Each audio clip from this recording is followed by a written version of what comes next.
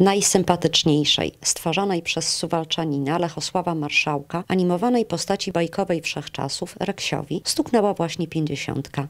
Z okazji urodzin rezolutnego pieska z charakterystyczną brązową plamą wokół oka na ścianie jednego z suwalskich bloków powstanie wielkie graffiti z postacią jubilata. Dokładnie pół wieku temu wyprodukowano pierwszy odcinek serialowego tasiemca pod tytułem Reksio Poliglota. Władze miasta uznały, że nie można zignorować tego jubileuszu. Wydział Kultury zwrócił się z prośbą do małżonki zmarłego rysownika i scenarzysty, z prośbą o pomoc w realizacji pomysłu. Halina Filek-Marszałek przejrzała domowe archiwum i wybrała kilka rysunków męża, po czym przekazała je do suwalskiego ratusza. Z daleka widać dobrze nam znane kontury czworonożnego łaciatego kundelka o urodzie bliskiej foxterierom. Mural u przechodniów wywołuje zawsze tę samą reakcję. Radosny, ciepły uśmiech. Najbardziej z nowego dzieła cieszą się dzieci, które przygody Reksia doskonale znają i kochają. Jego odsłonięcie nastąpi w czasie zbliżających się dni Suwałk.